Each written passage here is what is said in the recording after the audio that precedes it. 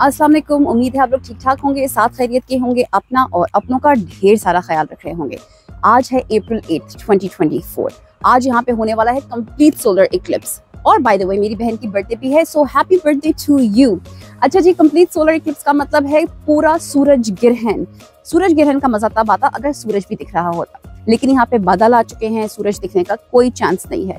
बहुत से लोगों ने इस सूरज ग्रहण की तैयारी की हुई थी दो साल पहले से। जी हाँ इस इलाके के अंदर होटल्स बुक कराए हुए थे। बहुत से लोग नाइग्रा फॉल्स पहुँचे हुए होंगे, लेकिन कोई फ़ायदा नहीं वंस अगेन क्योंकि बादल आ चुके हैं।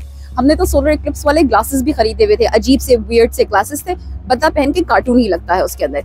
लेकिन वो भी पहनने की कोई ज़रूरत नहीं, ना ही कैमरा सूरज की तरफ़ पॉइंट करने की ज़रूरत है। लेकिन हाँ स्टे ट्यून क्योंकि थोड़ी देर के अंदर यहाँ पे कंप्लीट अंधेरा होने वाला है और वो मैं आपको ज़रूर दिखाऊँगी। अच्छा यहाँ पे जो सोलर इक्लिप्स लास्ट वाला हुआ था, वो हुआ था सौ साल पहले और अगला होने वाला है 375 इयर्स के बाद। ऑब्वियसली हम में से कोई तब तक ज़िंदा होगा नहीं। तो इसलिए ये वाला सोलर इक्लिप्स इंजॉय करना और रिकॉर्ड करना बहुत ज़्यादा ज़रूरी है। With that I am gonna take care अल्लाह हाफिज एंड फ़ी अमान अल्लाह।